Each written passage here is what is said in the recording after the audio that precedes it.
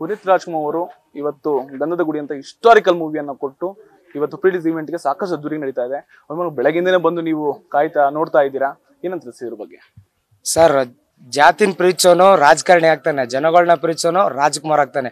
ರಾಜವಂಶ ಅಭಿಮಾನಿಗಳೆಲ್ಲ ನಾವು ದೇವ್ರ ಥರನೇ ಪೂಜಿಸ್ತೀವಿ ಎಲ್ರನ್ನ. ಶಿವರಾಜ್ಕುಮಾರ್ ಆಗಲಿ, ರಾಘಣ್ಣ ಆಗಲಿ, ಅಪ್ಪು ಸರ್ ಆಗಲಿ, ಸೊ ಎಲ್ಲರೂ ಸಿನಿಮಾನು ಒಂದೇ ರೀತಿ ನೋಡ್ತೀವಿ. ತುಂಬ ಖುಷಿಯಿಂದ ನೋಡ್ತೀವಿ. ಸರ್, ಗಂಧದ ಗುಡಿನ ಇಡೀ ವಿಶ್ವದಲ್ಲೇ ನಂಬರ್ ಒನ್ ಮೂವಿಯಾಗಿ ನಾವು ಮಾಡ್ತೀವಿ ಸರ್ ಅಭಿಮಾನಿಗಳಿದೀವಿ ಎಲ್ಲರೂ ನೋಡ್ತೀವಿ ನಾವು. ಮೂವಿನ ಎಲ್ಲರೂ ನೋಡ್ತೀವಿ. ಆ ಟ್ರೈಲರ್ ನೋಡ್ಬೇಕು ಸರ್ ನೀವು. ಅದರಲ್ಲಿರೋ ಒಂದು ಎಚ್ ಡಿ ಕ್ಲಿಯರಿಟಿ ಅವ್ರು ನಮ್ ಮುಂದೆನೇ ಇರೋ ತರ ಕಾಣಿಸುತ್ತೆ ಸರ್ ಜಸ್ಟ್ ಟ್ರೈಲರ್ ಅಲ್ಲಿ ಅದು ಬಿಗ್ ಸ್ಕ್ರೀನ್ ಅಲ್ಲಿ ಬರ್ಲಿ ಅಂತ ನಾವು ವೇಟ್ ಮಾಡ್ತಾ ಇದೀವಿ ಸರ್ ಬಂದ್ರೆ ಮಾತ್ರ ಅಲ್ಟಿಮೇಟ್ ಎಲ್ಲರೂ ನುಗ್ತೀವಿ.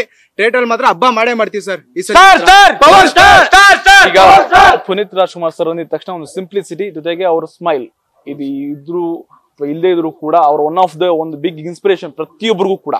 ಆಯ್ತಾ? ನಮ್ಗೆ ಆಗಿರ್ಬೋದು ನಿಮ್ಗೆ ಆಗಿರ್ಬೋದು. ಸೊ ನೀವ್ ಏನಾದ್ರು ಒಂದು ಪುನೀತ್ ರಾಜ್ಕುಮಾರ್ ಅವರಿಂದ ಕಲ್ತಿದೀನಿ ಅಂತ ಏನಾದ್ರು ಅನ್ಕೊಂಡ್ರೆ ಸರ್ ಅವರು ಸ್ಟಾರ್ ಆಗಿರ್ಬೋದು ಬಟ್ ಅವ್ರ ಮೂವಿಯಲ್ಲಿ ಕಾಸ್ಟ್ಯೂಮ್ಸ್ ಎಲ್ಲ ಹಾಕ್ತಿದ್ರಲ್ಲ?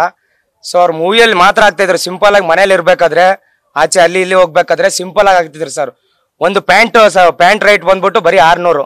ಶರ್ಟ್ ಬಂದು ನನ್ನೂರು. ಅಷ್ಟೇ ಆಗ್ತಿರೋದು ಅವರು.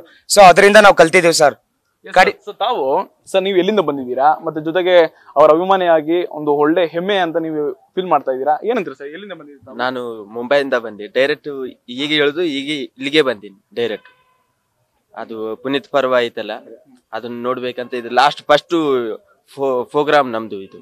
ಮೊದಲನೇ ಪ್ರೋಗ್ರಾಮು ಎಂಜಾಯ್ಮೆಂಟ್ ಮಾಡ್ಬೇಕಂತ ಬಂದೀನಿ ಅಷ್ಟೇ.